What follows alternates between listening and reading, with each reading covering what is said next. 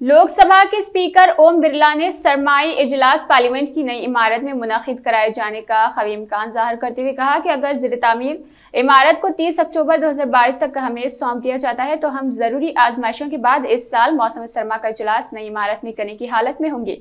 उन्होंने नए parliament house की तमीर के काम पर इतमान का इजहार किया। मिस्टर बिरला ने स्पीकर के तौर पर अपनी तीन बरस की मैयाद कार को शानदार करार देते हुए कहा कि सत्रहवीं लोकसभा की तश्कील 25 मई 2019 को हुई थी और इसका पहला इजलास 17 जुलाई 2019 को हुआ था। तब से लेकर आज तक लोकसभा का तीन वर्षों का सफ़र यादगार रहा।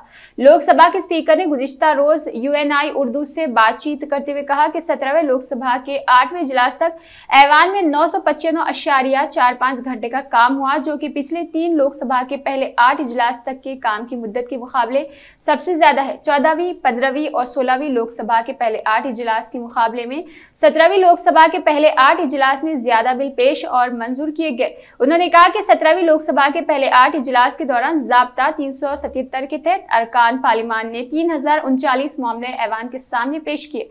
जबता तीन के तहत ऐवान के सामने पेश किए गए मामला पर मुसलसिल फालवाब किए जाने की वजह से अब तकरीबन अठानवे फ़ीसद मामलों में मुतल वजरातों से जवाब मौसू हो रहे।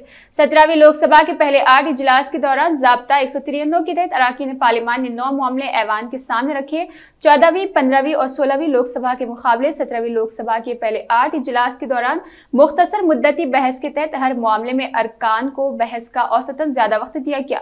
ओम बिरला ने बताया कि सत्रहवीं लोकसभा के पहले आठ इजलास तक वक्फा सिफर के तहत मुआज अरकान के ज़रिए चार हज़ार छह सौ अड़तालीस मामले या औसतन इकतीस मामले योमिया उठाए गए। ये चौदहवीं, पंद्रहवीं और सोलहवीं लोकसभा के पहले आठ इजलास के मुकाबले ज़्यादा है। उन्होंने बताया कि पहली बार मुंतब होकर आए मेम्बरान को अपनी बात रखने का मौका देने में दी गई और पहले ही इजलास में 208 मेम्बरान ने वक्फा सिफर के दौरान मामला उठाए। नई पहल के तहत वक्फा सिफर में उठाए गए मामलों पर भी वजरातों की तरफ़ से अब जवाब मांगे जा रहे हैं। स्पीकर ने कहा कि सत्रहवीं लोकसभा के पहले आठ इजलास के दौरान वक्फा सवाल में जबानी जवाब के औसतन तादाद चौदहवीं से सोलहवीं लोकसभा के पहले आठ इजलास के मुकाबले में ज़्यादा रही।